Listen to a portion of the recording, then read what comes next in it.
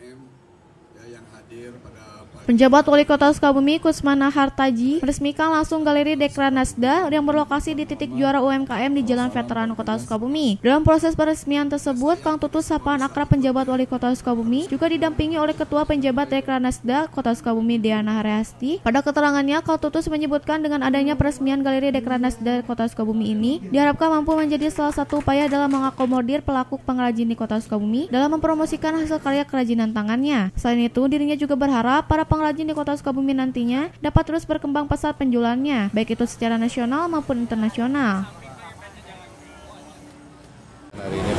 Ya, jadi ini ada peresmian galeri untuk mengakomodir para pelaku uh, apa, uh, kerajinan di satu tempat. Jadi sebagai bahan promosi juga, tapi juga bisa sebagai bahan langsung jual ya.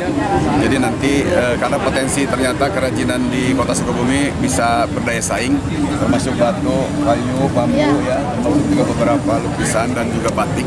Ini kalau tidak di satu tempatkan, uh, mungkin uh, galeri ini menjadi pusat informasi bagi pelaku-pelaku kerajinan di Kota Sukabumi dijadikan satu wadah.